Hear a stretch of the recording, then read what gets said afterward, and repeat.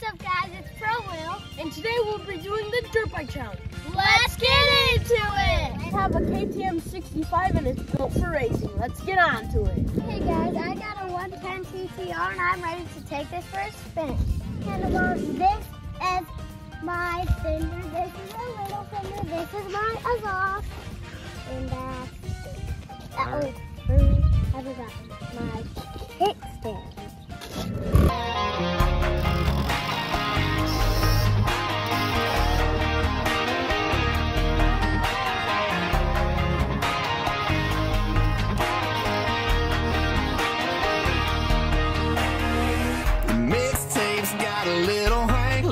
Drake, a little something bumping, thump, thumping on the wheel right. The mix in our drink's a little stronger than you think. So get a grip, take a sip of that feel right. Trucks jacked up, flat bills flip back. Yeah, you can find us where the party's at. This is how we roll.